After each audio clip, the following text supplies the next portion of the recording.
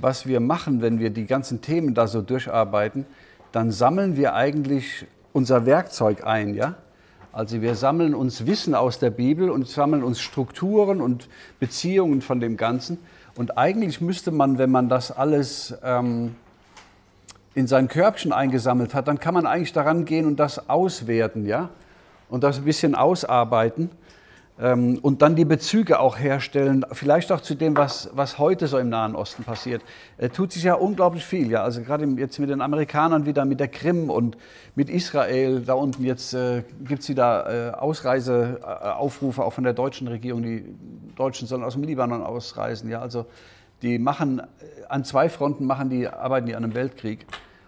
Und wir schauen uns eigentlich so antike Strukturen an, und gucken, was die Bibel uns zeigt, wie es in der Antike ausgesehen hat im Nahen Osten und sehen, dass die Bibel das aufs Ende projiziert. Als ob Gott aus der Weltgeschichte so eine Nische rausgenommen hat, dieser, dieser Diadochenkönige. Das war so 160 Jahre ungefähr. Die nimmt Gott aus der, aus der Weltgeschichte raus und zeigt, dass das in der Endzeit wiederkommt. Und in seinem Wort macht er diese Zeit sehr groß, bis in einzelne Persönlichkeiten, die wir uns heute auch anschauen, insbesondere der, der Antiochus Epiphanes.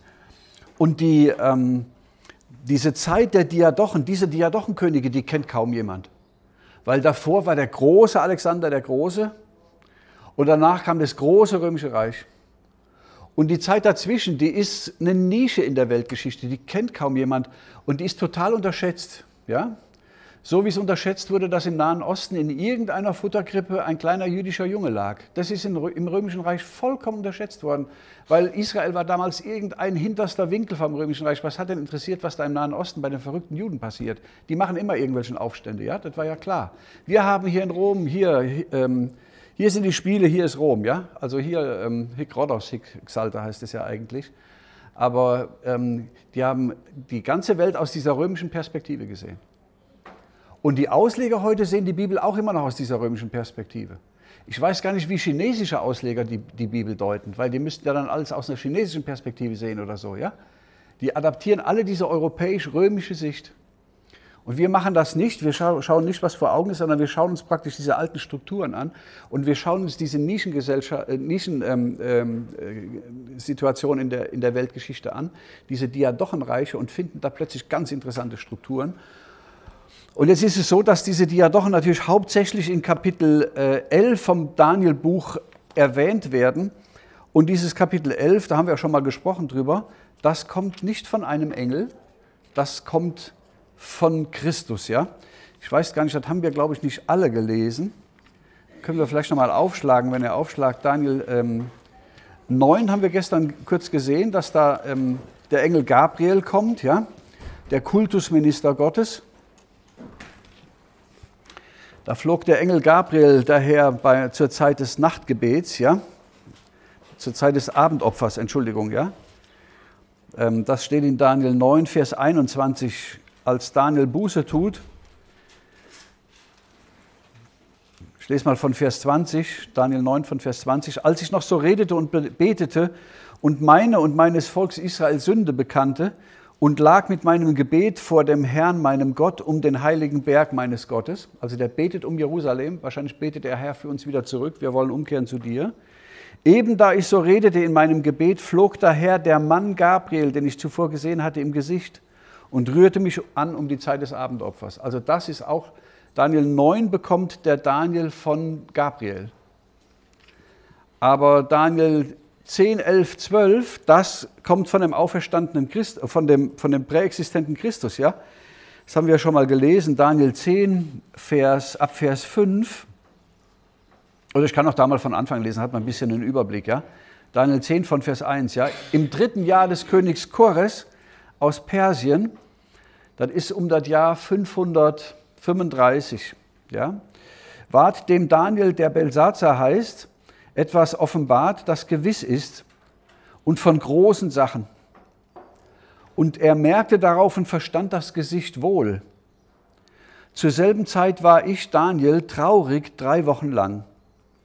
Als ob der bedrückt ist, ja, dass irgendwie der Geist Gottes nicht zu ihm kommen kann oder der, der Herr nicht zu ihm kommen kann. Ich aß keine leckere Speise, Fleisch und Wein kam nicht in meinen Mund und salbte mich auch nie, bis die drei Wochen um waren.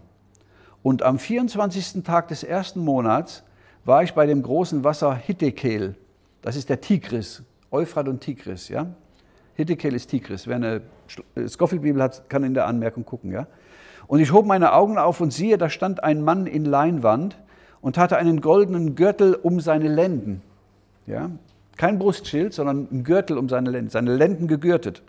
Sein Leib war wie ein Türkis, sein Antlitz sah wie ein Blitz, seine Augen wie feurige Fackeln, seine Arme und Füße wie helles, glattes Erz und seine Rede war wie ein großes Getön. Das ist kein Engel mehr, der hier beschrieben wird. Da wird Christus beschrieben. Ja? Und zwar ganz ähnlich, wie er auch in der Offenbarung beschrieben wird. Mit dem Unterschied, dass hier seine Lenden gegürtet sind, als ob man da ein Schwert dranhängen kann, weil er im Krieg ist. Und in der Offenbarung wird er gezeigt, mit, äh, dass er umgürtet ist um die Brust. Wir sind ja alle erwachsene Leute. Manche Pastoren aus Süddeutschland haben gesagt, ja, äh, Christus ist ja Mann und Frau, in Gott ist Mann und Frau vereint und Christus hatte einen Büstenhalter an. Ja, das habe ich auch gemacht, als ich das gehört habe. Ich habe gedacht, wie, wie töricht kann man, kann man denn noch auslegen? Ja? Ihr seid ja alles erwachsene Leute, ja? So das darf man gar nicht sagen, das hängt sich ja jahrelang in den Kopf fest, so ein Blödsinn. Habe ich vor 30 Jahren irgendwo gehört. Das machen die heute alle nach, ne? Bitte? Das machen die heute alle nach. Ja, das, aber, aber wirklich, ja? Das ist ein priesterlicher Gurt, das ist das Brustschild des hohen Priesters, ja? Wie kann ich denn so was, also, naja gut, gibt alles, ja, gibt alles auf der Welt. Und manche sind auch für was gut, wenn es nur ein abschreckendes Beispiel ist, ja? Aber das ist praktisch die gleiche Persönlichkeit, das ist Christus, ja, der hier gezeigt wird. Und das finde ich schon was Großartiges. Das heißt für mich als, als Bibelausleger, ich darf das, was jetzt Christus dem Daniel hier mitteilt in Kapitel 10, 11, 12, nicht so an den Tisch fallen lassen. Aber wenn ihr zum Beispiel Auslegungen hört, ähm, insbesondere jetzt aus den dabistischen Kreisen, Brüdergemeinden, da bin ich zum Glauben gekommen. Also ich bin in der Diskothek zum Glauben gekommen, aber ich bin in die Brüdergemeinden dann gegangen später. Ja? Ähm, und dort war es so, dass man Daniel immer gepredigt hat bis Daniel 9, Daniel 7, kleine Horn, ja? Daniel 8 hat man ein bisschen außen vor gelassen, das passt nicht so ganz in die Sichtweise. Daniel 9 hat man dann noch gemacht, da hat man 7 und 62 addiert und bis auf Christus gerechnet. Aber die Kapitel hier, wo die Seleukidenkönige hier aufgezählt werden bis zu Antiochus, das wird ganz stiefmütterlich behandelt in, de, in der Auslegung. Warum? Naja, weil da keine römischen Cäsaren aufgelistet werden, sondern Seleukiden und Ptolemäer aus so einer Nische zwischen Alexander dem Großen und dem Römischen Reich. Und man weiß da nichts mit anzufangen. Man weiß nichts mit anzufangen mit dem, was Christus dem Daniel gegeben hat. Und das finde ich schon fatal. Ja? Also für mich gehören die Kapitel hier zum Allerwichtigsten und ich glaube, dass die Prophetie Daniel sich immer weiter entwickelt und immer weiter konzentriert, bis auf einen, einen bestimmten Mann, nämlich diesen Antiochus Epiphanes, der in der Endzeit wiederkommen wird. Das ist doch die, die Geschichte, die Daniel erzählt. Und die letzte große, die, der letzte große Bühnenvorhang, der da aufgezogen wird, das macht Christus selber. Und das wird so stiefmütterlich behandelt. Das ist schon fast Sünde für mich. Ja? Also das darf man ja nicht tun. Da muss man wenigstens sagen, ist denn da was Besonderes drin? Ist da was drin, was, was ich vielleicht übersehen habe? Wieso kommt Christus hier mit so, mit so äh, Aussagen? Warum stehen da keine römischen Cäsaren? Tiberius, Vespasian, Caligula, ja? Äh, das wären doch eigentlich die, die da aufgezählt werden müssten, wenn es ums große römische Reich geht, ja? Ja? Ja, ja. Das ist also nichts Umstrittenes, ja? Aber hier steht. Da steht Engel, ja, ja. In der Anmerkung, ja. Ja, ist ein Problem, weil äh, ich meine, da jetzt zu behaupten, dass, dass der präexistente Christus ist, ist natürlich schon heftig, ja. Aber ich meine, man sieht den genauso gezeichnet mit feurigen Augen und, und äh, ähm, sein Leib war wie ein Türkis, sein Antlitz wie ein Blitz, ja. Äh, seine Stimme war wie ein großes Getön, das ist dasselbe wie in der Offenbarung. Da müsste man in der Offenbarung auch sagen, das ist ein Engel. Also bei den Anmerkungen muss man manchmal ein bisschen vorsichtig sein. Und gestern Abend haben wir vielleicht sogar gesehen, dass man manchmal sogar bei den Übersetzungen ein bisschen vorsichtig sein muss. Ja? vom, An, vom Ausgang des Wortes, nicht vom Ausgang des Befehls. Ja?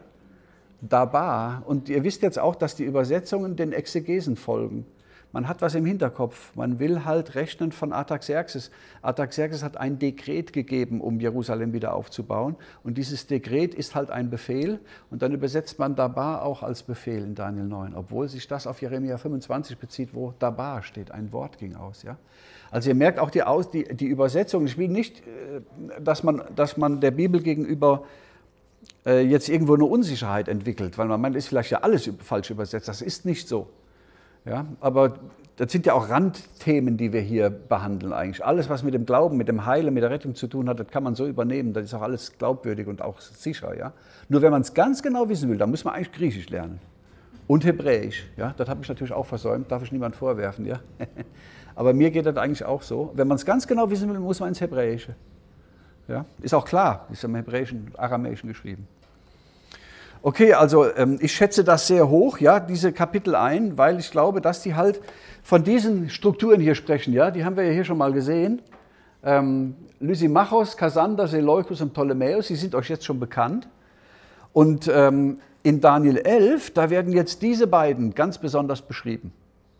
Daniel 11 behandelt also die Abfolge dieser Seleukidenkönige. Und wir können ja mal ein paar Verse lesen, dass man mal so ein bisschen Geschmack und Witterung da aufnimmt von Daniel 11. Ich lese mal ab Vers 1. Da steht dann, denn ich stand ihm auch bei im ersten Jahr des Darius des Meders, dass ich ihm hülfe und ihn stärkte. Und nun will ich dir anzeigen, was gewiss geschehen soll. Siehe, es werden noch drei Könige in Persien aufstehen. Daniel bekommt diese Prophetie so um das Jahr 535, 537. Das war der Anfang der Perser. Könige, ja? Anfang des Perserreichs. Er sagt, kommen noch drei Könige in Persien. Der vierte aber wird größeren Reichtum haben denn alle anderen. Und wenn er in seinem Reichtum am mächtigsten ist, wird er alles wieder das Königreich in Griechenland erregen. Und dann kommt Alexander.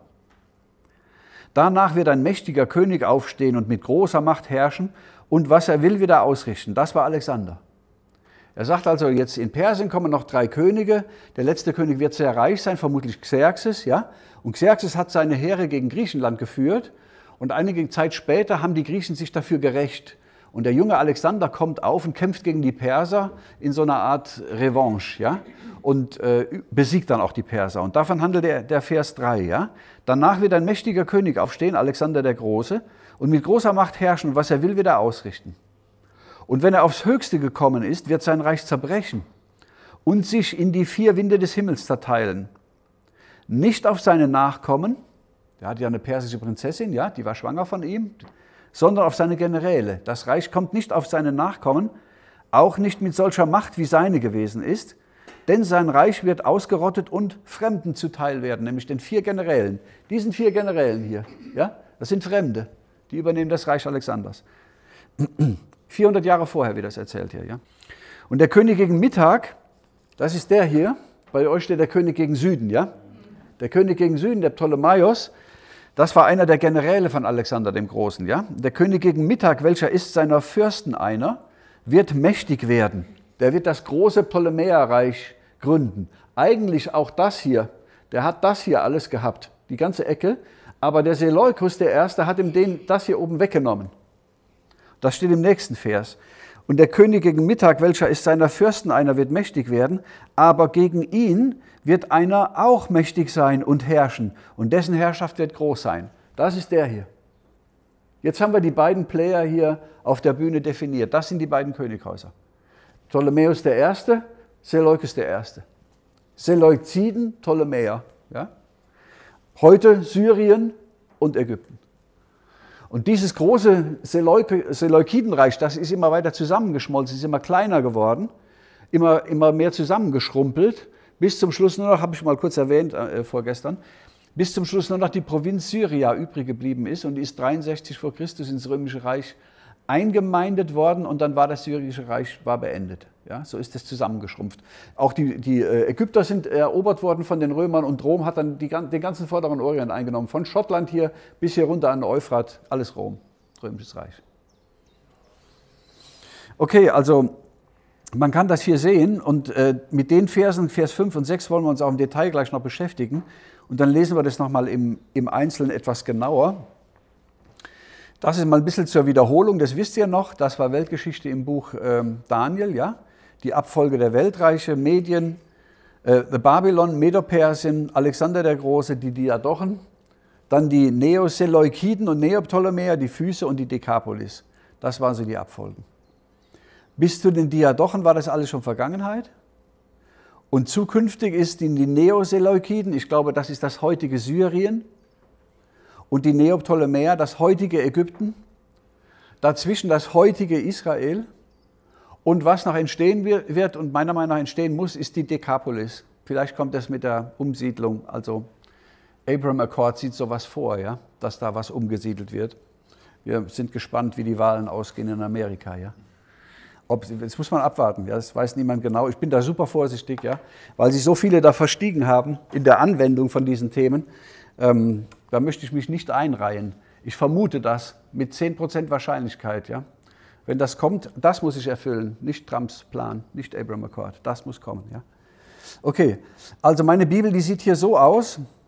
Ähm, das haben wir eben so gelesen, ja. Ähm, ich stand ihm auch beim ersten Jahr des Darius und so weiter. Und hier ist der, der König gegen Mittag. Das ist seiner Fürsten einer, das ist der äh, Ptolemäus der aber gegen ihn wird auch einer mächtig sein und herrschen und das ist der der erste Nikator, ja? der das Volk lieb hat. Und dann habe ich mir die hier aufgeschrieben, der erste Nikator, ist der erste Seleuzitenkönig. Dann kommt der zweite, Antiochus, der erste. Soteriologie ist die Lehre von der Rettung. Christus ist unser Heiland, unser Retter, das heißt im Griechischen Soter. Der hat sich der Heiland genannt, das ist der Retter der Welt. Das ist ein gotteslästerlicher Name. Der dritte König war Antiochus zweite Theos. Was heißt denn Theos? Da kommt Theologie her, ja? Der Gott hat er sich genannt. Ich bin Gott. Ihr könnt mich anbeten, wenn ihr wollt. Das, das waren Namen, die die sich gegeben Lästerliche Namen, sagt die Offenbarung zu denen, ja? Theos. Dann Seleukos der zweite Kalinikos. Da muss ich jetzt gucken, was das heißt, ja? Hier wieder Seleukos der zweite, der dritte Soter, wieder der Heiland, ja? Dann Antiochus der dritte der Große. Dann Seleukos der vierte Philopator der den Vater lieb hat. Der, hat sein, der liebt den Vater, ja. Wie er dazu kommt, weiß ich nicht. Aber sein Antiochus den Dritten da verehrt hat mit.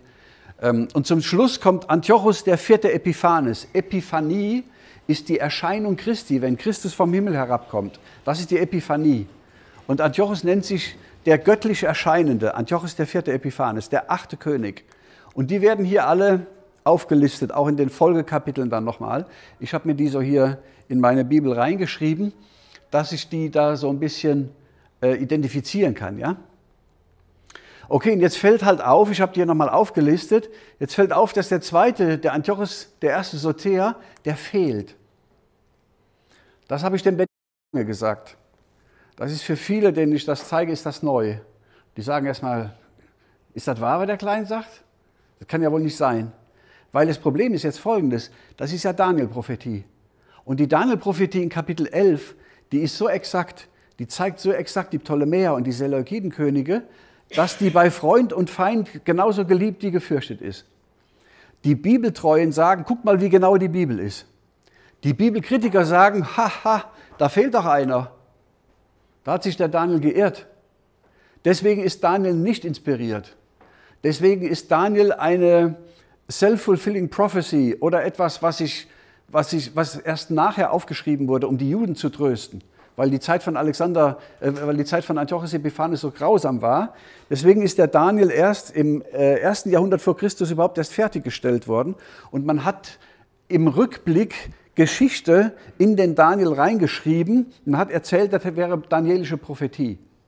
Ihr, versteht ihr das ja? Ne? Also man hat sagt, praktisch im Jahr äh, 100 vor Christus die Sachen vom Antiochus aufgeschrieben, die vor 80 Jahren passiert sind und hat die dem Daniel dann zugefügt. Der Daniel ist so Stück für Stück entstanden und weil er so sukzessive entstanden ist, hat man dann die Antiochus-Geschichte einfach aufgeschrieben, die Ptolemäer aufgeschrieben, aber das hat man geschrieben zu einer Zeit, wo das schon 100 Jahre Vergangenheit gewesen ist und hat es den Juden dann als Prophetie verkauft. Das sagt die heutige Theologie. Das ist so töricht. Das wird, das wird, ja, das wird konstruiert. Es wird nur behauptet. Weil es so unwahrscheinlich ist, dass das so sein gewesen ist. Exakt. Die glauben, die, die glauben nicht an Prophetie. Ja, die, letzten Endes glauben die nicht an Gott, die glauben auch nicht an Prophetie. Und weil die sagen, wenn das wirklich Daniel geschrieben hat im 5. Jahrhundert vor Christus und es ist ja im 2. Jahrhundert vor Christus erst alles abgelaufen, dann gibt es Prophetie. Wenn es Prophetie gibt, gibt dann gibt es Gott. Aber die, die ist Erfolgprophetie des Alten Testaments. Was sind die? Die ist erfolgt? Das Alte Testament ist doch Vollprophetie. Ja, natürlich, klar. Die zweifeln, zweifeln alles an. Die zweifeln auch die Wunder Jesu an. Die zweifeln das alles an.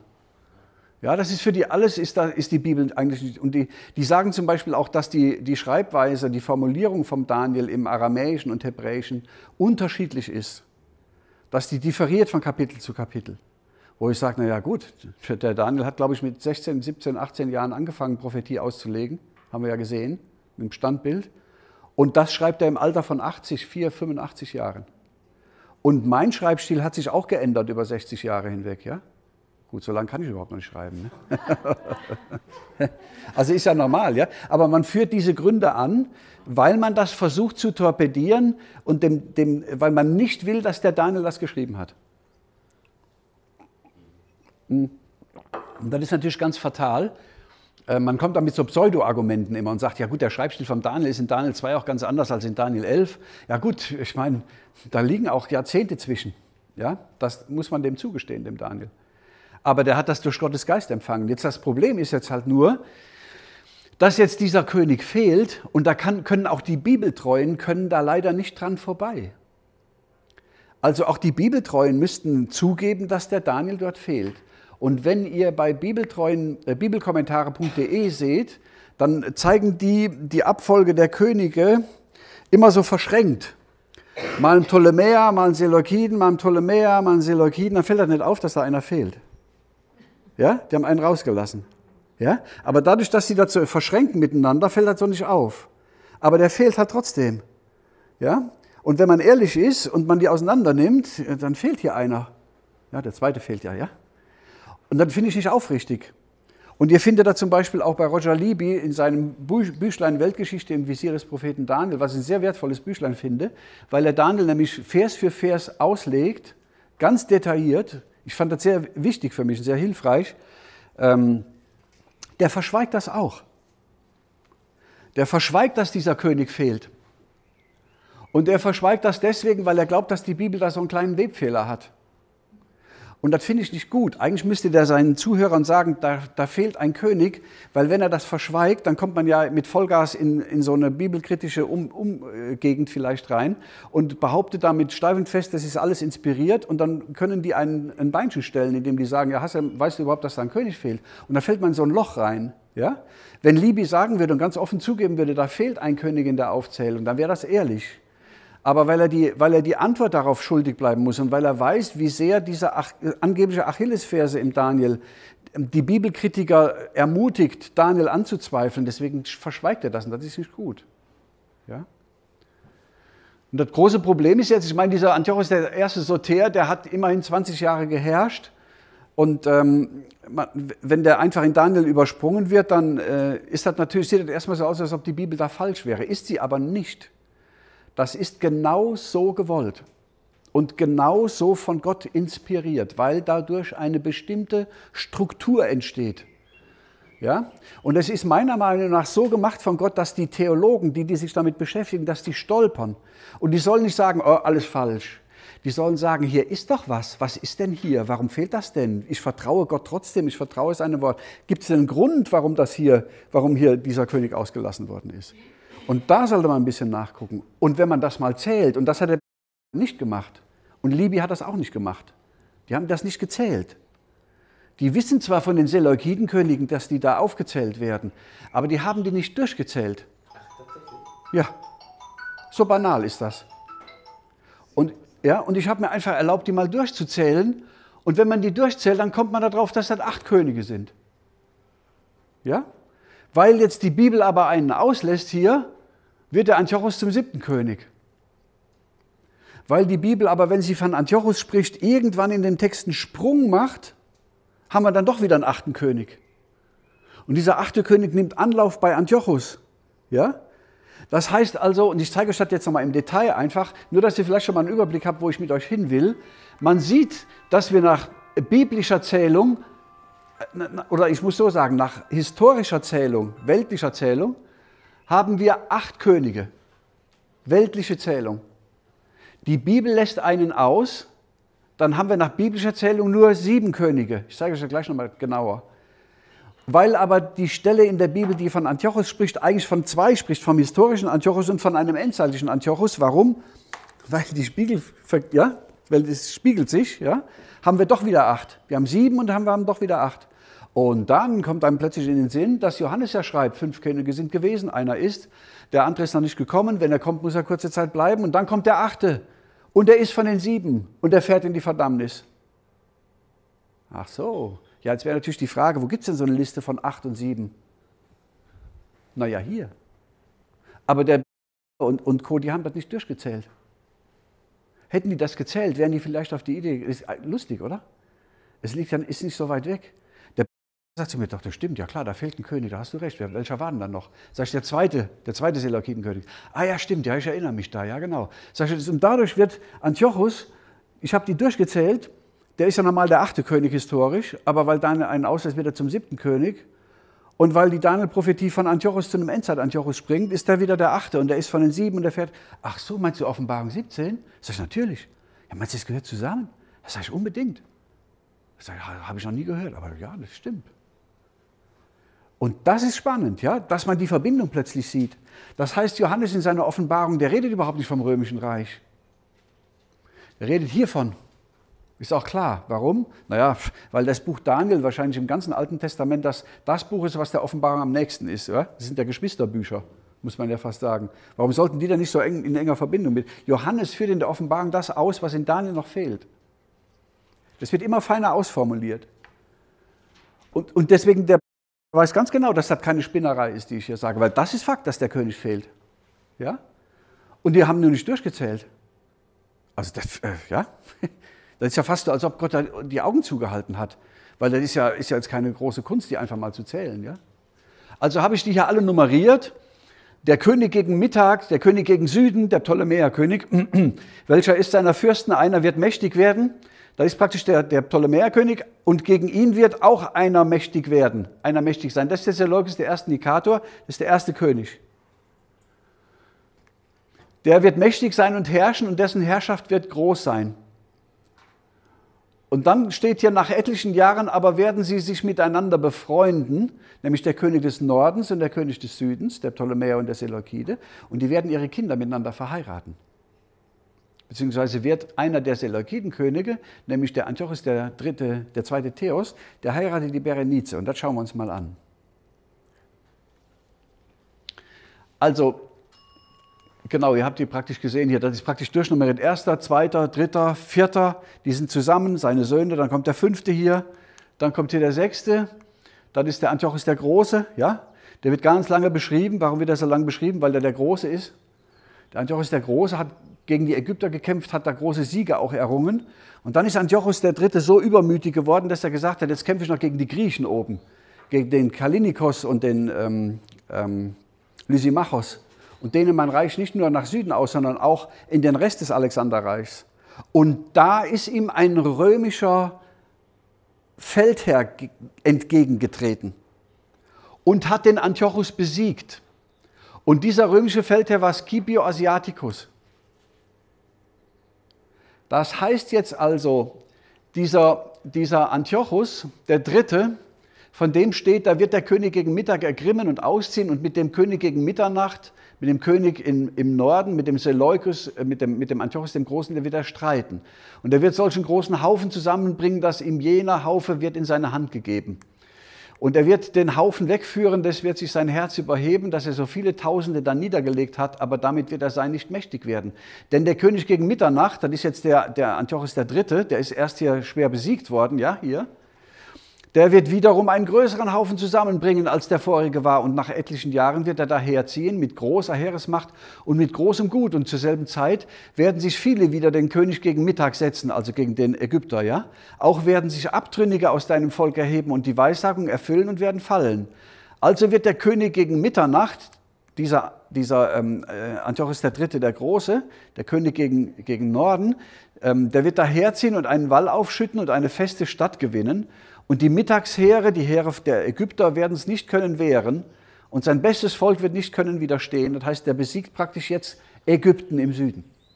Antiochus kämpft mit einem großen Heer gegen, die, äh, gegen den Ptolemäerkönig und siegt. Ja?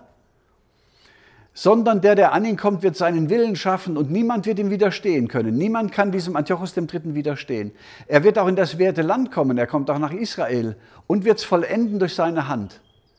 Und wird sein Angesicht richten, dass er mit der Macht seines ganzen Königreichs komme.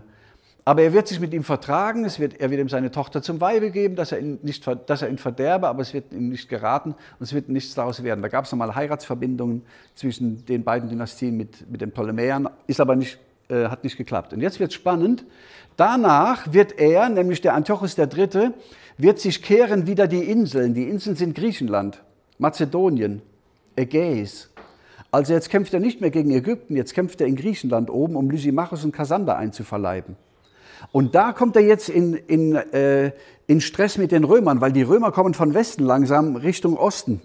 Und da ist der erst, das erste Mal, dass die Krieg miteinander führen. Ja? Danach wird er, nämlich dieser Antiochus der, der Dritte, der Große, sich kehren wieder die Inseln, ja, die Ägäis, und deren viele gewinnen. Aber ein Fürst wird ihn lehren, aufhören mit Schmähen, dass er ihn nicht mehr schmähe. Und dieser Fürst hier, das ist Scipio Asiaticus. Das war ein römischer Feldherr und späterer Senator. Das, da wird jetzt Rom erwähnt. Sogar einzelne Senatoren und Feldherren aus dem römischen Reich. Und meiner Meinung nach ist das so, als ob Gott hier sagt, ich kenne sogar einzelne Feldherren, aber ich meine Rom nicht. Sonst hätte ich in Daniel 11, hier hätte ich lauter Kaiser aufgezählt. Ja? Ja? Kannst du aus der Geschichte dann ableiten, die es sowieso in der Historie gibt? Ja, ja, genau. Genau, das kann man aus der Geschichte ableiten. Das heißt, der Antiochus III. hat gekämpft hier, war das die Schlacht von Magnesia, da bin ich unsicher. Irgendwas wird auch im Asterix-Heft immer da erwähnt. War das nicht auch Magnesia? Ich weiß nicht mehr genau. Ja? Also in dieser Schlacht hat der Scipio Asiaticus hat den äh, Antiochus III. besiegt und hat ihn mit großen Steuern belegt und hat ihn nach Hause geschickt. Und dann hat er seinen Sohn, den Sohn vom Antiochus Epiphan, äh, vom, ähm, ähm, der Sohn vom Antiochus III., den hat er als Geisel nach Rom geholt. Und das war der Antiochus Epiphanes. Der ist in Rom erzogen worden.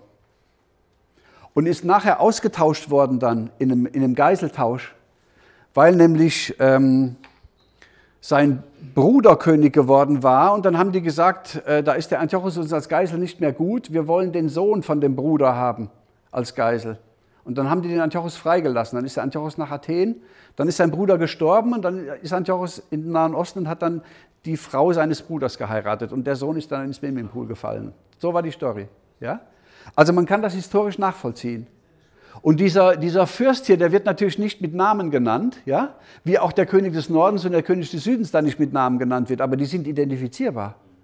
Und jetzt ist es so, es ist noch viel schlimmer, als dass Gott nicht nur Rom nicht in Daniel nicht erwähnt hat. So als ob Gott vielleicht, man könnte ja vielleicht sagen, gut, vielleicht hat Gott das vergessen.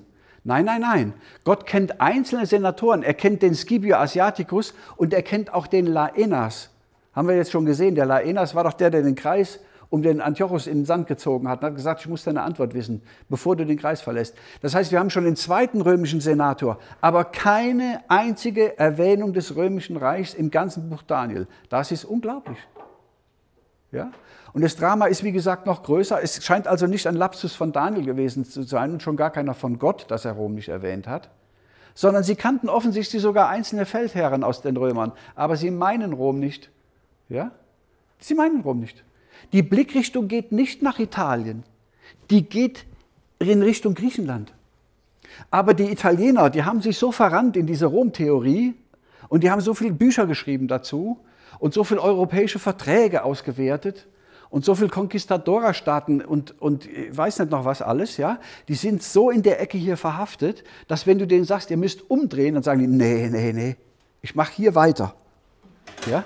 Ich habe immer schon hier gemacht. Ich mache da nicht, das ist falsch. Und deswegen wird Kapitel 9, deswegen wird Kapitel 10, 11 und 12 bei den Auslegern, die die Rom-Theorie vertreten, nicht behandelt, ganz stiefmütterlich behandelt.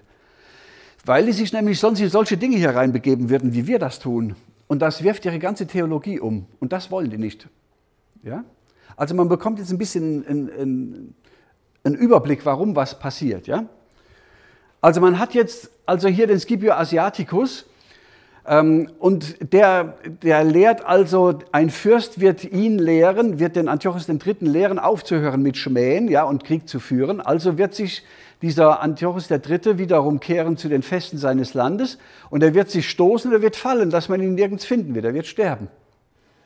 Und an seiner Stadt wird einer aufkommen, das ist jetzt der siebte, und das ist der Seleukos, der vierte Philopator. An seiner Stadt wird einer aufkommen, der wird einen Schergen oder einen Steuereintreiber sein herrliches Reich durchziehen lassen. Aber nach wenig Tagen wird er zerbrochen werden, doch weder durch Zorn noch durch Streit. Und dann, dann kommt der achte. Und das ist Antiochus. Ach so, das heißt also, Antiochus hatte einen Vorläufer, ja, und dieser Vorläufer, der musste eine kurze Zeit bleiben. Ja, nach wenigen Tagen würde der zerbrochen werden, doch weder durch Zorn noch durch Streit. Das heißt, der, der, der Typus des Antichristen hat einen Vorläufer, der kurz bleiben muss. Ja. Das heißt, dieser, dieser Vorläufer hat eigentlich das Kommen des Antiochus so ein bisschen aufgehalten und musste erst beiseite getan werden. Und dann kommt er, genau. Und das schreibt Paulus in 2. Thessalonicher 2. Der, der noch aufhält, muss zuerst Ekmesos, der muss beiseite getan werden. Da hält ein männlicher auf. Wer hält denn da auf? Der hier. Wer auch immer das in der Endzeit ist. Gott nimmt den Faden irgendwo wieder auf in der Endzeit. Ja? Als ob man so ein Gleis hat. Ich habe keinen Stift hier, ne? Als ob man so ein Gleis hat, was läuft, ja? Und irgendwann nimmt Gott in der Endzeit die Geschichte wieder auf und schwenkt hier ein und fängt hier so beim fünften König, da fängt er an.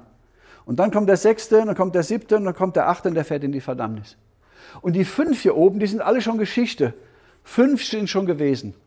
Und einer ist. Und der andere ist noch nicht gekommen. Und wenn der kommt, dann muss der eine kurze Zeit bleiben. Und dann kommt der achte. Und er ist von den sieben. Von den sieben. Und fährt in die Verdammnis. Das heißt, dass Johannes in der Offenbarung den Daniel auslegt. Das ist der Hammer. Ja, das würde aber dann bedeuten, dass in der Endzeit wieder so ein Antiochus Epiphanes kommt. Ja, ja, mehr sage ich ja nicht. Und das ist auch unbestritten. Das Blöde ist nur, dass er halt kein Italiener ist, sondern Grieche. das ist ein Asiate. Ja? Aber ansonsten stimmen die alle darüber, darin überein. Und das heißt also, wenn der Johannes in der ähm, Offenbarung in Kapitel 17 äh, sagt halt, äh, dass dieser, dieser König von den sieben ist, dann, dann sind das ja die sieben Häupter auf diesem Tier. Ja? Und jetzt sagen viele, ja gut, der, der Johannes sagt, fünf Könige sind gewesen, einer ist. Der andere ist noch nicht gekommen, wenn er kommt, muss er eine kurze Zeit bleiben. Dann kommt der achte und der ist von den sieben und fährt in die Verdammnis. Ja? Jetzt sagen die Vertreter der Rom-Theorie, ja gut, der achte, der Antichrist, das ist ja ein, ein, der äh, Diktator aus dem Westen, aus dem Römischen Reich. Wir versetzen uns jetzt nochmal in die Rom-Theorie rein. Und jetzt brauchen wir, müssen wir aber wissen, wer die sieben sind. Ja gut, das ist das Römische Reich in seiner Form als Triumviren, als Cäsaren, als Republik. Und da werden so sieben verschiedene Regierungsformen des Römischen Reichs aufgezählt, mit der man irgendwie erklären will, wer diese sieben sind, von denen der achte kommt. Und ich sage immer, woher habt ihr denn die Liste? Ja, die gibt es nirgendwo. Lothar Gassmann sagt, diese sieben Könige, von denen der achte kommt, das ist Ägypten, ähm, Assyrien, Babylon, Medien, Persien, Griechenland, das antike Rom und das endzeitliche Rom. Jetzt bin ich stolz, dass ich das hingekriegt habe, ja? Dann sage ich, Lothar, wo hast du die Liste her? Die gibt es nicht. Ich habe eine Liste. Die gibt's. Die Liste hat aber einen Webfehler. Da fehlt ja einer. Ja, da muss sogar einer fehlen. Damit aus dem Achten hier der Siebte wird, der aber auch der Achte ist. Ach so, dann ist das gar kein Fehler in der Bibel. Nee, ist kein Fehler. Das ist göttlich inspiriertes Wort. Die Theologen straucheln daran, die Theologien straucheln daran, aber das Wort bleibt bestehen. Ja? Und zu sagen, dass das nicht historisch war, weil dieser, dieser zweite König, der Antiochus der zweite Soter, dass der da nicht geherrscht, dass der nicht erwähnt wird, obwohl der fast 20 Jahre regiert hat, Das ist dumm. Was wird denn da deutlich? Unglaube wird da deutlich. Das heißt, die scheitern mit ihrer, mit ihrer Schlauheit am Wort Gottes, ja, und das sollen sie auch. Dafür ist das Wort da. Das ist jetzt ein Scheitern an Gottes Wort auf einem hohen Niveau, auf einem hohen intellektuellen Niveau, ja. Da scheitern die Schlauen und die Einfachen dran, weil die Einfachen, die stören sich an der Jungfrauengeburt Marias und die Großkopferten, die stören sich an sowas. Sie alle stören sich an Gottes Wort. Und das wird offenbar hier in der Zeit für die Ewigkeit. Ja? Uns aber ist das eine Gotteskraft. Und ich freue mich wie ein Schneekönig, wenn ich das sehe. Ja? Wie ein Schneekönig. Und ihr könnt das, und deswegen sollten sich die Theologen, die, die bibeltreu sind, doch auch darüber freuen. Die sollten sagen, ja, natürlich, das passt ja mit Offenbarung 17. Jetzt wissen wir auch, warum hier der König fehlt. Das ist kein Webfehler. Libi muss das nicht verschweigen. Die Brüdergemeinden müssen das nicht verschweigen. Ja, mit so blöden Tricks, dass man die halt separat immer gegeneinander wechselnd aufzählt. Man kann ganz ehrlich sein. Man kann das alles auf. Warum? Weil das Gottes Wort ist. Das ist belastbar. Ja? Ja? Ja. Ja. Nicht die ganze Abfolge. Ich glaube, dass der, Daniel, dass der Johannes sagt, fünf von den Königen sind schon gewesen. Die braucht er nicht mehr, das ist alles Historie. Die fünf hier vorne, die sind Historie. Hier fängt es langsam wieder an zu laufen. Der sechste, einer ist der hier. Wann ist der denn? Vor 2000 Jahren, 90 nach Christus, als Johannes die Offenbarung schrieb? Glaube ich nicht. Ich glaube, dass das dynamisches, lebendiges, das ist lebendiges Wort. Deswegen glaube ich, dass die Offenbarung im engeren Sinn für die Gläubigen in der 70. Jahrwoche ist. Dann wird nämlich der siebte sein, dann der sechste sein, dann kommt der siebte kurz und dann kommt der achte und der belagert Jerusalem, dann kommt Jerusalem zum Glauben an Jesus. Ja? Also wenn ich es jetzt mal so auf heute übertragen sollte, um nur um das plastisch zu machen, der Assad in Syrien heute, kann sein, wenn der, der Trump wird, ich erzähle eine Geschichte, das ist nicht biblisch und ja, nur, dass man ein bisschen mal, Trump wird gewählt, der ordnet den Nahen Osten neu, Israel macht einen Deal und sagt, aber mit dem, mit dem Assad wollen wir nicht mehr. Wir haben so viel Zugeständnisse gemacht, aber den Assad, der, der muss weg. Ja? Dann kommt der Neffe vom Assad oder der Cousin oder irgendein entfernter Verwandter oder vielleicht auch kein Verwandter und der wird in Syrien eingesetzt. Und der bleibt aber nur kurze Zeit weil der krank wird und stirbt oder weil der Achte kommt und den killt, ich weiß es nicht genau, ja. Das wäre eine Struktur, die ich mir vorstellen kann. Dann wäre, dann wäre der Assad heute wäre der Sechste. Der Sechste ist Assad. Was ich jetzt nicht behauptet habe. Nicht sagen, der Kleine hat gesagt, der Assad wäre der Sechste, ja. Nur, dass, dass man das plastisch ein bisschen hat. Der Sechste ist heute. Und der Siebte ist noch nicht gekommen. Wenn der kommt, muss der kurze Zeit bleiben. Und dann kommt der Achte. Woher? Aus Damaskus. Ein kleines Horn. Da schließen sich überall Kreise. Bitte? Unscheinbar. Unscheinbar. Niemand erwartet es von da. Warum? Ja, weil der Liebe in alle Rom. Da muss ja ein Diktator aus dem Römischen Reich kommen. Wir leben im Römischen Reich, wir leben im ausgehenden Römischen Reich und das Römische Reich bricht gerade zusammen. Und Israel bricht zusammen oder auseinander, wie auch immer, ja. Aber da zerbrechen überall, da zerplatzen überall Träume im Moment. Ganz, ganz heftig, ja. Hm. Jetzt habe ich das alles vorweggenommen. Ich habe das aber ein bisschen aufbereitet. Ja, also ihr seht schon hier der sechste, das ist alles Antiochus der, der dritte, ja. Dann kommt, dann kommt der siebte hier unten, ja.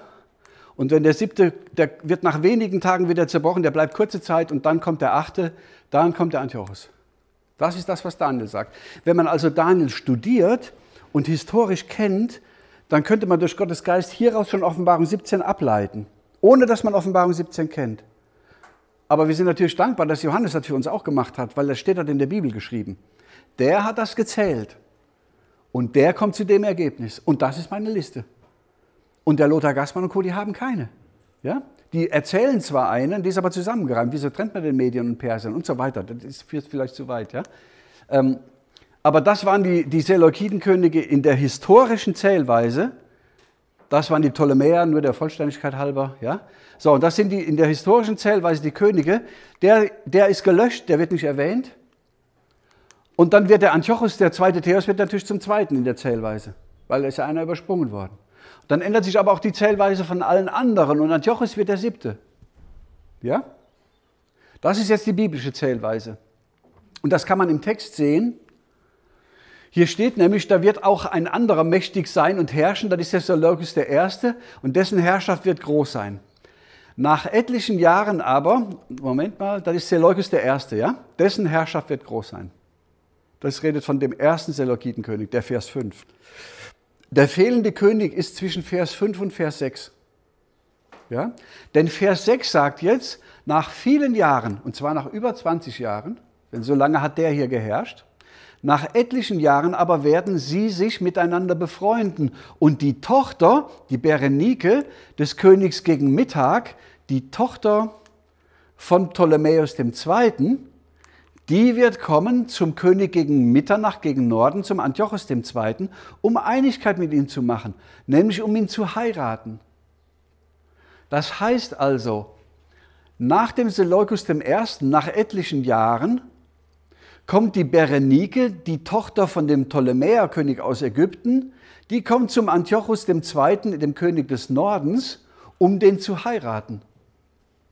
Diese Heirat zwischen Berenike und dem, als Ptolemäerkönigin und einem Seleukidenkönig ist aber nur mit Antiochus dem, II. Äh, berichtet und nicht mit Antiochus I.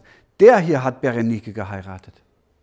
Ach so, ja, aber hier oben war doch der Seleukus und hier kommt schon der, der, ähm, der Antiochus II., dann fehlt ja der Antiochus I., der ist ja da übersprungen worden. Genau, der ist da nicht drin in der Liste. Und der müsste eigentlich hier zwischen Vers 5 und Vers 6 müsste der stehen. Ja? Dann wird hier berichtet vom Seleukus I., dann käme Antiochus I., und dann wird berichtet von der Heirat der Berenike mit dem Antiochus II. Das wäre eine saubere Abfolge. Aber der fehlt, der wird nicht erwähnt. Der ist übersprungen worden. Scofield schreibt es. Die Scofield-Bibel macht als einzige eine Anmerkung. Das war die einzige Anmerkung, die ich da gefunden habe zu. Ja? Also wenn man in die Bibliothek geht, findet man das vielleicht auch. Aber da muss man eine riesige Bücher wälzen. Ja? Da muss man sich ja die, die ganze Seleukiden-Geschichte einlesen, bis man sich da so auskennt. Aber ähm, Scofield schreibt das zum Glück, deswegen schätze ich die Scofield-Bibel. Ja? Der schreibt jetzt hier, Daniels Prophetie geht über den zweiten Seleuzidenkönig hinweg. Ah, Doppelpunkt, das war Antiochus der erste Soter. Der hat geherrscht von 281 bis 261 vor Christus, 20 Jahre lang, wird übersprungen. Es wird nur eine Vereinigung der beiden königlichen Linien durch Heirat erwähnt. Ja? Dieser König des Südens ist Ptolemäus II. und so weiter. Die Tochter ist Berenice, Berenike und so weiter geht es dann fort. Aber er schreibt, dass das dann König fehlt. Ja? Also steht da. Bitte? Wird der Antrag zurückgezogen? genau, ja. Ja, genau. Also das, das stimmt, ja. Ich meine, die großen Amtskirchen haben eine andere Endzeitsicht gehabt. Ja, für Israel gab es keine Hoffnung. Es gab auch keine, kein Existenzrecht für Israel. Man hat gesagt, die Kirche hat äh, Israel beerbt. Ersatztheologie. Israel ist ersetzt worden durch die christliche Kirche. Und alle Segnungen Israels sind auf die Kirche übergegangen. Warum hat man das gesagt? Weil in den 140er Psalmen, da steht drin, dass... Ähm, Israel herrschen wird mit eisernem Stab über die Völker. Und das hat dem Papst gut gefallen. Und da hat der Papst gesagt, ah, naja gut, die Segnungen sind ja alle auf uns übergegangen, also auch die. Oder vielleicht hat er auch gesagt, die Segnung hätte ich gern, dann sagen wir halt, das ist alles auf uns übergegangen. Das war Machtpolitik. Ja? Jetzt ist aber blöderweise ist irgendwann Israel entstanden wieder als Staat. Und da waren natürlich alle elektrisch. Die Evangelikalen waren noch nicht so festgelegt. Scofield, Israel, Endzeit. Und ich glaube, dass das stimmt, ja, dass Israel wieder kommen musste. Aber in der Perspektive der Amtskirchen war das vollkommen unmöglich und ausgeblendet. Und jetzt hat Scofield 20, 25 Jahre bevor Israel gegründet wurde, im Jahr 1920 die Scofield-Bibel veröffentlicht. Und da haben die gesagt, das ist Freimaurerei, weil das ist Jewish. Und Freimaurerei ist jüdisch. Und du kommst mit dem jüdischen Thema und du kommst wieder und sagst, Israel hätte Rechte, die wir nicht haben. Und weil die alle irdisch gedacht haben und die Kirche ihre geistlichen, ihr geistliches Erbe vollkommen vergessen hat, haben die dem Scofield vorgeworfen, dass er Freimaurer. Vielleicht war der Freimaurer, der war ja auch Anwalt und hat ja auch Blödsinn gemacht. Ja, da war er wegen Betrug im Gefängnis auch, ja. Aber man muss auch jemandem zugestehen, dass er vielleicht zum Glauben kommt und sich bekehrt, ja. Und Spitzbuben waren wir doch alle. Und von Luther hat man dann auch gesagt, dass Luther ein Spitzbube war. Und dann sage ich immer, ich weiß nicht genau, ich kenne das Leben von dem Luther nicht so gut. Eins weiß ich, was Luther formuliert hat, kann kein Spitzbube formulieren. Das weiß ich. Denn die Rechtfertigung in Christus, das kann kein Spitzbube formulieren. Das ist biblisch, das Paul, paulinische Evangelium. Das kann ein Spitzbube nicht machen. Also viele werden mit Dreck beworfen da irgendwo. Ne? Und selbst wenn, der Scofield, selbst wenn das jetzt falsch wäre, was der Scofield an Anmerkungen schreibt, hat mich das zumindest mal stutzig gemacht und gesagt, ach, guck mal einer an. ja. Und dann kann man ja mal noch andere Quellen zur, zur, zur, zu Rate ziehen, statt nur Scofield. Und wenn man mit dem Vorwissen dann gezielt in eine Bibliothek gehen kann, ohne sich 500 Seiten anlesen zu müssen und zu sagen, ach, auf der Seite unten links, da steht was, ja, sondern wenn ich da jetzt gezielt nachsuchen kann, weil das hier steht und behauptet wird, dann finde ich das auch. Und dann finde ich das in ganz vielen Quellen. Und dann muss ich sagen, ja, da hat Scofield recht. Ob er Freimaurer war oder nicht, ist mir, ist mir einfach mal egal. Mir geht es ja eh um den Text, ja. Ich will nur zeigen, dass das hier vermerkt ist. Und wenn ihr in den Quellen danach seht, dann werdet ihr das auch finden. Außer beim Roger Libby weil der dummerweise den Mut nicht gehabt hat, das einfach offen zuzugeben, dass da einer fehlt. Ja? Warum macht er das denn nicht? Der will Gottes Wort irgendwie verteidigen, wo es gar nichts zu verteidigen gibt. Ja? Da muss man ehrlich sein. Und ich für meinen Teil, ich denke, ihr seht das ja auch, ich decke alles auf. Ich sage das, ich sage auch, was Libi denkt, ich sage, was Gassmann denkt, ich, ich sage, wie die herkömmliche Auslegung ist. Ich möchte gern, dass ihr informiert seid. Ich möchte, dass ihr selbstständig eure Bibel lesen könnt. Ich brauche keine Jünger. Ja? Und das seid ihr ja auch nicht. Aber ich möchte gern, dass ihr informiert seid, dass ihr beide Seiten kennt, weil ich nichts zu verbergen habe. Man kann das einfach gegenüberstellen und könnt euch selber ein Bild machen. Das möchte ich gerne. Und was wir hier tun, ist, wir sammeln nur Werkzeug, um ein bisschen klug zu werden, was in der Vergangenheit gewesen ist, um Dinge aus der Offenbarung irgendwie zu verstehen. Und erstaunlicherweise befinden wir uns vielleicht jetzt in einer Zeit, in der das alles plötzlich wichtig wird. Und dass die Pastoren, die und Co., dass die nicht den Mut haben, sich dazu zu committen, das hält die Gemeinde Jesu auf. Das finde ich so schlimm dabei. Ja? Ansonsten ist mir das egal, ob die das machen oder nicht. Ja? Wenn Gott will, wird das offenbar. Ja? Aber die, Daniels Prophetie geht über den zweiten Seleuzidenkönig hinweg. Okay, also äh, Vers 5 steht noch von Ptolemäus I. und Seleukus I. Nicht erwähnt wird Antiochus I. Soter. Dann kommt Vers 6, Berenice, Hochzeit mit Antiochus II. Antiochus I. fehlt. Habe ich damit hinlänglich gezeigt, dass der da fehlt? Ja, ne? Das kann man so nachvollziehen, selbst wenn man das jetzt nicht wiederholen kann, aber man hat das mal im Hinterkopf. Ja, man kann das sehen am Text. Okay, weil der fehlt, 20 Jahre geherrscht, der fehlt, wird Antiochus hier unten zum siebten. Erster und dann geht es hier weiter, zweiter, dritter, vierter, ja? Antiochus wird zum siebten, aber die endzeitliche Wiederholung wird noch kommen vom Antichristen und der ist dann ein Achter. Und dieser Achter ist von den sieben. Und das Tier mit den sieben Häuptern, das scheint irgendwie mit den Seleukidenkönigen zu tun zu haben und nicht mit äh, Tiberius und Caligula. Warum? Weil Tiberius und Caligula in der Bibel nicht erwähnt werden. An keiner Stelle. Ich habe eine Liste. Ja, die habe ich mir nicht zusammengebaut, die steht in der Bibel. Die hat sogar einen Webfehler, dass man da aufmerksam werden soll drauf, wenn das soweit ist. Ja? Das finde ich ich freue mich da wie ein, wie ein Schneekönig drüber. Tag und Nacht. Ja? Mir wird das auch nicht langweilig dazu erzählen, immer wieder. ich freue mich da immer wieder drüber. Ja? So, und dass, dass der Seleukidenkönig jetzt da, dass die so aufgezählt werden, ja, gut, man kann die nochmal gegenüberstellen, ja? haben wir ja hinlänglich jetzt auch gesehen. Jetzt ist der Punkt nur der, das ist ja praktisch die Rede von dem, von dem endzeitlichen Antiochus, ja? der wird hier zum siebten. Und weil diese, diese nach der biblischen Zählweise in Daniel 11. Aber Daniel 11 macht einen unmerklichen Sprung von dem historischen Antiochus zu einem achten, zu einem endzeitlichen König. Denn dem wird gelingen, was er will. Der wird tun, was er will und es wird ihm gelingen. So steht es da. Und jetzt zeige ich euch mal, wo dieser Bruch im Text ist. Ja? Wo kann man sehen, dass die Passage über Antiochus Epiphanes zweigeteilt ist? Also man kann das sehen zwischen Vers 35 und Vers 36 in Daniel 11. Und je nachdem, welche, welche Bibel ihr habt, wenn ihr da so Kapitelüberschriften habt, dann könnt ihr das sehen. Da wird praktisch von Vers 22 bis Vers 35 wird von Antiochus Epiphanes berichtet. Und ab Vers 36 macht die Bibel einen unmerklichen Sprung, weil in den Versen vorher steht immer noch, dass der, dieser Antiochus Epiphanes, der historische, versucht hat, bestimmte Dinge zu erreichen. Und dann steht da, Vers 27, es wird ihnen aber nicht gelingen, denn das Ende ist noch auf eine andere Zeit bestimmt. Oder es steht in Vers 30, da werden Schiffe aus Kittim wieder entkommen, dass er verzagen und umkehren muss. Und in Vers 35 steht, es wird ihnen nicht gelingen, denn es ist noch eine andere Zeit vorhanden. Scheinbar ist das, was der historische Antiochus vorhatte, wird immer verhindert. Das funktioniert irgendwie nicht. Was funktioniert nicht? Ägypten zu erobern. Der kriegt das nicht hin. Und dann kommt Vers 36 und da steht der König, der König, der dann kommt, der wird tun, was er will.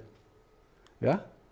Der König, der wird tun, was er will. Der wird Ägypten erobern. Der achte. Der wird Ägypten erobern und wird sich erheben und aufwerfen wieder alles, was Gott ist und wieder den Gott aller Götter wird er greulich reden. Das sagt doch auch Paulus. Der setzt sich in den Tempel als ein Gott ja, und lässt sich verehren, als, als sei er Gott. Der überhebt sich über alles, was Gott oder Gott ist. Das ist der Antichrist. Ja? Und es wird ihm wird's gelingen. Dem wird es nicht gelingen. Ja? Aber ihm wird es gelingen, bis der Zorn aus sei. Denn es muss geschehen, was beschlossen ist. Das heißt also, dass der Teil jetzt, na, ich habe das, na, vielleicht später. Na, ich will nicht durcheinander kommen. Also man sieht, dass dieser Bruch zwischen dem Vers 35 und Vers 36 ist. Und ab Vers 36 ist von einem anderen König die Rede. Die Weissagen über den eigenwilligen König. Das würde bedeuten, nach biblischer Zählweise ist hier vom siebten, vom Antiochus, historisch, und hier vom achten die Rede, vom endzeitlichen. Und dann hätte man eine Struktur, die dem entspricht, was in der, ähm, in der Offenbarung kommt. Ja? Ich zeige euch das aber gleich nochmal deutlicher. Ich habe jetzt erwartet, dass die Folien kommen. Kommen vielleicht später nochmal. Das war jetzt historisch, auch Scofield. Ähm, viele erwarten ja ein römisches Tier, ein römisches Endzeitreich. Und dieses Endzeitreich ist ja beschrieben hier in, in Offenbarung 13. Äh, ich trat an den Sand des Meeres und sah ein Tier aus dem Meer steigen. Das hatte sieben Häupter und zehn Hörner. Und es soll ja das römische Reich sein. Und auf seinen Hörnern zehn Kronen und auf seinen Häuptern Namen der Lästerung. Das Tier, das ich sah, war gleich einem Parder oder einem Panther oder gleich einem Leopard und seine Füße wie Bärenfüße und sein Mund wie eines Löwenmund. Ist das ein römisches Reich? Nee. Wo kommen denn diese Tiere her, Pader, Bär, Löwe, aus Daniel? Wofür stehen die denn im Daniel? Na, für Griechenland, Persien und Babylon. Ja, nicht für Europa, nein. Ja, dann würde das ja heißen, dieses Endzeittier, was hier kommt mit den zehn Hörnern und den sieben Häuptern, das ist überhaupt nicht Rom. Nö. Das Endzeitreich ist wie Griechenland, wie Persien und wie Babylon. Und zwar nicht wie das Urlaubsgriechenland, wo wir hinfahren wollen heute mit Tui, ja, sondern das alexandrinisch-diadochische Griechenland das antike Griechenland. Und dieses Griechenland hatte seinen Schwerpunkt in Babylon, Zweistromland. Persien ist Zweistromland, Babylon ist Zweistromland. Hier, das hat mit Rom, mit dem Tiber gar nichts zu tun. Hier wird ein Parder, ein Bär und ein Löwe beschrieben und keine Wölfin. Nix Tiber. Euphrat. Ach so, dann darf ich ja nicht da in die Ecke gucken, da muss ich ja in die, genau. Ja? Aber das wird euch immer als römisches Reich verkauft obwohl das hier Paderberg Löwe ist. Ja? Fällt euch was an der Reihenfolge auf, wie die aufgezählt werden? Das ist umgekehrt. Das ist die falsche Reihenfolge.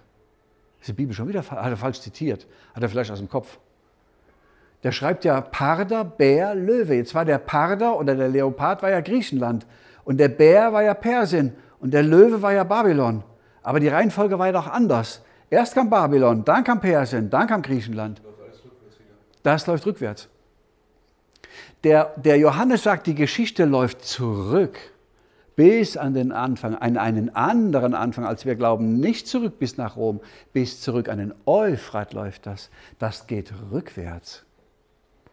Und das sehen wir. Und ich glaube, dass das Römische Reich auseinanderbricht, dann kommt was Neues, was niemand erwartet. Und das spielt sich alles da unten ab. Alles da unten. Ja? Und der Nukleus von dem allen ist Jerusalem. Nicht Israel, auch nicht Juda. Jerusalem, die Königsstadt. Darum geht es, ja? Ja? Ja, also ich habe so den Eindruck, als ob Amerikas Feuerkraft gerade aufgespalten wird zwischen der Ukraine und, äh, und Israel. Die haben die Ukraine angezettelt, ja, und dann musste Amerika da irgendwie rein mit seiner NATO äh, und ähm, dann haben sie dann zwei, drei Jahre köcheln lassen und dann haben sie Israel losgetreten. Und aus der Israel-Sache kann sich Amerika nicht raushalten, weil Israel halt judäo-christliches Erbe und die ganzen Evangelikalen in Amerika, die laufen sonst Sturm. Und damit hat man Amerika in eine Falle gelockt. Und die Feuerkraft wird aufgespalten zwischen der Ukraine und Israel. Man hat also Waffen von Israel in die Ukraine geschippert. Jetzt geht es in Israel rund, jetzt muss man wieder Waffen von der Ukraine nach Israel schippern. Die Amerikaner wissen gar nicht, wohin sie liefern sollen. Netanyahu beschwert sich. Äh, Genau, Taiwan, ja. Also das wird, wird die nächste Baustelle sein. Das heißt, der Westen wird aufgespalten und der Westen wird meiner Meinung nach gegeneinander gehetzt, wie es im Zweiten Weltkrieg auch schon gewesen ist, ja. Und vielleicht sogar schon im Ersten. Und ob wir das überleben, ist die Frage, ja. Wenn wir das nicht überleben würden, wäre dieser, diese Konzentration der Bibel auf den vorderen Orient und auf, der, auf Israel äh, viel besser verständlich. Weil dann wären ja eigentlich, wenn alle Völker sich um Israel sammeln, gibt es auf der nördlichen äh, Halbkugel keine Völker mehr. Da gibt es vielleicht da und dort ein paar Köhler, die noch irgendwo im Wald überleben. Ja? Ja? Aber das ist kein Tier aus Rom. Ich weise da immer wieder so gebetsmühlenartig darauf hin, ja? weil das ja eine, eine, eine heftige These ist, zu sagen, dass das Römische Reich keine Rolle spielt. In der Bibel nicht. Ja, wenn, man, wenn man aber Weltgeschichte in die Bibel reinschleppen will, und das passiert ja ständig, dann interpretiert man immer das große, gewaltige römische Reich da rein, was bis in unsere heutige Zeit unsere Gesetzgebung und unser Sozialverständnis und, und unsere, unsere komplette westliche Welt immer noch prägt. Dann ist aber Eva. Eva guckt auf das, was vor Augen ist und trägt das in die Bibel rein. Ja, ja? ja also ich glaube, wenn, wenn ähm, also kurz vor der angeblichen Schlacht von Hamageddon würde ich das einordnen wollen. Der Antichrist, der wird ja irgendwann, der wird ja kommen als ein kleines Horn und dann wird ihm gelingen, was dem, dem antiken Antiochus nicht gelang, der wird Ägypten erobern. Das heißt, plötzlich wird sein Reich groß. Ägypten, Libyen, Sudan, Äthiopien, der ganze westliche fruchtbare Halbmond ist plötzlich sein Reich. Er ist kein kleines Horn mehr, er ist ein großes Horn. Und dann glaube ich, dass die Könige aus dem äh, Osten kommen, vom Euphrat, und dass die Damaskus zerstören, seine Stadt zerstören und dass die, die sich dann gegeneinander aufstellen in der Ebene von Hamageddon. Das ist schon kurz bevor Jesus wiederkommt. Und dann glaube ich, dass die nicht, deswegen nicht gegeneinander kämpfen, obwohl da 200 Millionen Soldaten sind, haben wir gesprochen, ja? weil die Entrückung kommt. Und ich glaube, dass, um das nur mal so kurz anzureißen, ich glaube, dass die Entrückung, das ist aber jetzt wirklich, also, ähm, dass die an dem Tag 1290 ist und am Tag 1335 kommt Christus wieder. Also zwischen der Entrückung der Gemeinde und der Wiederkunft der Gemeinde mit Christus auf den Ölberg, glaube ich, liegen 45 Tage. Ist aber jetzt, ob man das wissen muss, ja, und warum das so ist und so, das führt ein bisschen weit, ja, aber ähm, ist aber auch nur ein, ein Vorschlag, ja. Ja, will ich jetzt nicht drauf sitzen wollen, aber gut. Also jetzt mal vielleicht kurz zurück zu Daniel 11, ähm, hoppla, Daniel 11. Und zwar dieser, dieser Bruch hier, der liegt ja hier, ja. Das haben wir uns hier angesehen. Das sind diese Verse. Vers 35, Vers 36. Die stehen in dem ganzen Daniel 11, stehen die hier. Ja? Und alles rot, alles was hier rot ist, steht hier von Antiochus Epiphanes. Also es gibt keinen König in, in der Bibel, keinen, keinen heidnischen König, von dem so viel geschrieben ist wie von Antiochus. Scheinbar fokussiert sich die ganze Daniel-Prophetie und die gipfelt in dem. Ja? Das heißt, hier werden die ganze Zeit, das haben wir eben alles gelesen, hier mit dem Antiochus III. und so weiter. Ja? Hier ist der, der Römer, wo steht er denn hier? Ein Fürst wird in Lehren aufhören mit Schmähen, da wissen wir schon, das ist hier der Scipio Asiaticus, ja? da wird sogar das Römische Reich mal kurz erwähnt, einzelner, das kennen wir jetzt alles schon. Und jetzt sehen wir, ah, dann kommt hier der siebte, der muss ja kurze Zeit bleiben und dann kommt der Antiochus. Ja? An des Stadt wird aufkommen ein Ungeachteter, welchem die Ehre des Königreichs nicht zugedacht war. Der wird mitten im Frieden kommen. Also es muss Frieden werden, wenn der Antichrist kommt. Ja, es bleibt nicht chaotisch. Das steht in Vers 21, Daniel 11, Vers 21. Ähm, das heißt also, dass bevor diese ganzen Endzeitthemen losgehen, bevor die 70. Jahrwoche beginnt, muss es Frieden werden. Zumindest im Nahen Osten. Ja? Also das erwarte ich. In der, an manchen Bibeln steht, der wird unerwartet kommen, ja, oder unversehens in der Elberfelder Bibel. Aber in der Fußnote steht dann auch, dass das mitten im Frieden heißt. Ja. Und das, das erwarte ich mal. Das heißt, der Antichrist, das sagt uns schon Daniel, nicht nur der Paulus, es wird ein Ruf sein, Friede, Friede. Es hat keine Gefahr. Dann meint er hier Daniel 11, denn er redet doch vom Kommen des Antichristen. Und das redet vom Kommen von Antiochus Epiphanes, der ein Typus des Antichristen war. Kann es sein, dass Paulus mal das Alte Testament gelesen hat? Ja, schon. Kann es sein, dass der Paulus im zweiten Thessalonischer Altes Testament auslegt, alttestamentliche Prophetie? Könnte es sein, dass Paulus sich auf eine Bibelstunde bezogen hat bei den Thessalonichern, die er ein paar Monate vorher gehalten hat, wo die Daniel behandelt haben? Und dass er sich in, in 2. Thessalonicher 2 auf diese Bibelstunde bezieht und damit dann auch hier auf diese Bibelstellen, das glaube ich schon. Könnte es sein, dass wir heute Daniel zu wenig kennen und deswegen nicht wissen, was Paulus in 2. Thessalonicher 2 meint? Das glaube ich auch. Wir haben keine Ahnung. Ihr bekommt in, im Internet bekommt ihr zu 95 Prozent Theologie und nicht Bibel. Da muss man drüber nachdenken. Wenn ihr einen evangelikalen Pastor hört, bekommt ihr dabistische Theologie, bekommt ihr Scofield. Wenn ihr einen Landespfarrer hört, bekommt ihr entweder lutherische Theologie oder reformierte Theologie. Müsst ihr wissen.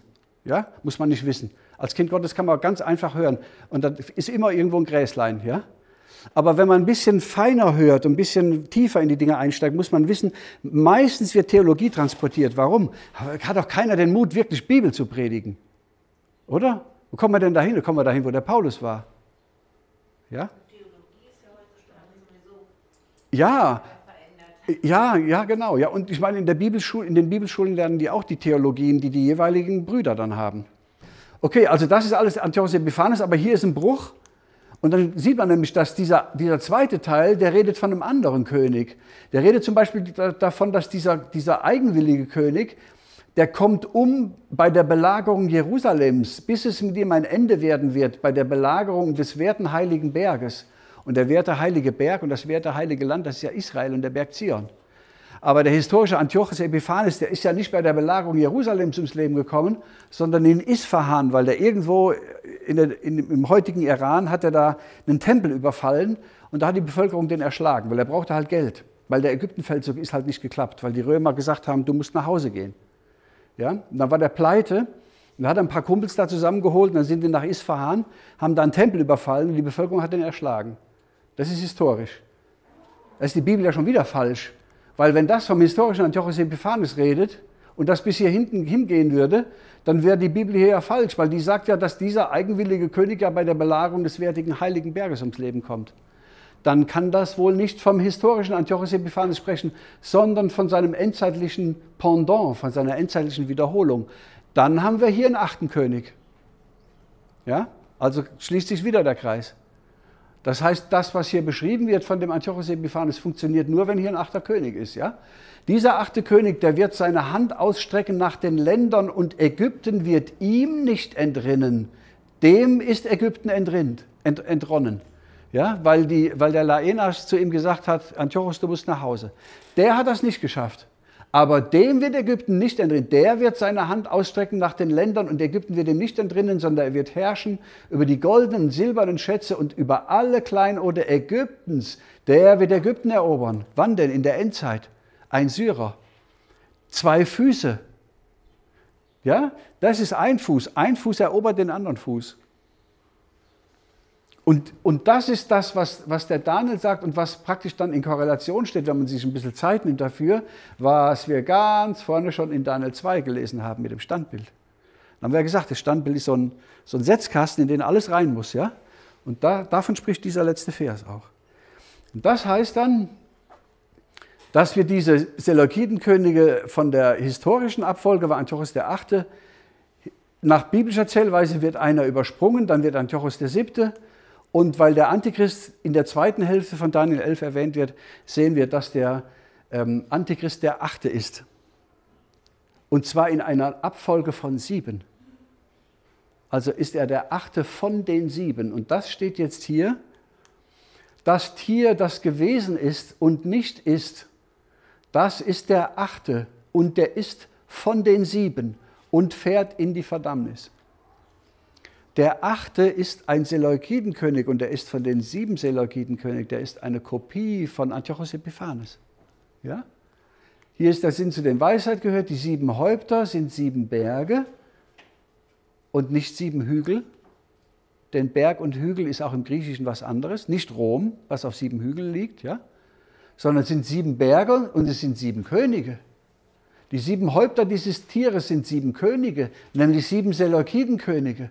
Fünf von den Seleukidenkönigen sind gefallen. Vergesst die, die sind Geschichte, die sind Historie. Gott wird aber in der Endzeit irgendwie diesen Weg wieder aufnehmen. Der wird den wieder angleichen und dann wird er diese Abfolge aufnehmen. Fünf sind schon gewesen. Jetzt ist der sechste. Wann denn?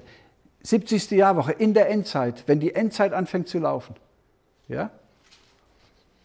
Dann sagt er, fünf sind gefallen, die sind Historie. Einer ist der sechste ist, und zwar dann, wenn, wenn die Endzeit anbricht, kurz vor der 70. Jahrwoche. Und der andere, nämlich der siebte, ist noch nicht gekommen. Und wenn er kommt, muss er eine kleine Zeit bleiben. Ah, das wissen wir schon. Der Antiochus hatte einen Vorläufer, der musste kurze Zeit bleiben. Ja, wenige Jahre. Und dann war der weg. Und das Tier, das gewesen ist und nicht ist, das ist der achte. Und der ist von den sieben und fährt in die Verdammnis. Und jetzt haben wir eine direkte, einen direkten Kurzschluss mit Daniel und verstehen das besser. Ja? Ja? ja, ich glaube, dass die Hure Babylon Jerusalem ist. Ja? Was natürlich heftig ist, aber Jesaja schreibt auch, wie ist die fromme Stadt so zur Hure geworden? Und die, die Hure Babylon ist ja die Mutter aller Hurerei und Gräuel auf Erden. Und dafür ist Rom zu jung. Also die römische katholische Kirche ist sicher eine große Tochter der Hure und hat sicher ganz ähnliche Dinge auf sich geladen auch, ja. Aber sie ist nicht die Mutter aller Hurerei. Dafür ist das, ist das zu, zu jung, ja. Und vielleicht geht er sogar noch weiter zurück bis nach Babylon. Und wenn man sich so ein bisschen mit dem kabbalistischen Blödsinn da auseinandersetzt, dann kriegt man so ganz, ganz erstaunliche äh, Dinge in den Kopf, ja. Und deswegen, glaube ich, hat Jesus auch zu den Pharisäern äh, und Schriftgelehrten damals gesagt, euer Vater ist der Teufel. Weil die sich mit diesem, mit diesem so Kabbala-ähnlichem, gnostischem, okkulten Zeugs beschäftigt haben. Ägyptische Kulte. Damals. Damals schon. Ja, damals schon. Und es waren keine Reptiloiden. Es waren Menschen wie du und ich. Aber die haben sich einem, einem Satansgeist, denn den Satan gab es damals auch schon, dem haben sie sich geöffnet. Und deswegen sagt Jesus, euer Vater ist der Teufel. Ja? Also wird heute werden auch Dinge manchmal da ganz nervös reingelegt, die da meiner Meinung nach nicht drin sind. Ja? Also auch heute, wenn, wenn Menschen sich äh, mit, mit Seancen und irgendwelchen äh, Sitzungen da ähm, dem, dem Teufel öffnen, die werden auch besessen. Das gibt es heute auch. Viele aus afrikanischen Ländern sind als Kinder schon behext und besprochen worden. Deswegen laufen die heute nackt durch die Straße, weil die einen unsauberen Geist haben. Dieser unsaubere Geist will sich halt zeigen, ex exponieren. Ja, ja, natürlich, natürlich, klar. Aber wer unter dem Blut des Lammes steht, der ist sicher. Ja? Also wir haben hier praktisch ein Tier, das gewesen ist und nicht ist und wieder sein wird. Und das ist nicht das römische Reich, sondern das sind diese sieben Könige, das sind diese sieben Häupter. Ja? Ähm, hier steht ja auch, die sieben Häupter sind sieben Berge. Und dann wird immer gesagt, das ist Rom, weil Rom liegt auf sieben Hügeln. Da ist ja schon die erste Unschärfe, ja? oder Lüge will ich jetzt nicht vielleicht sagen. Aber Rom liegt nicht auf sieben Bergen, bei den sieben Zwergen sondern Rom liegt auf sieben Hügeln. Ja?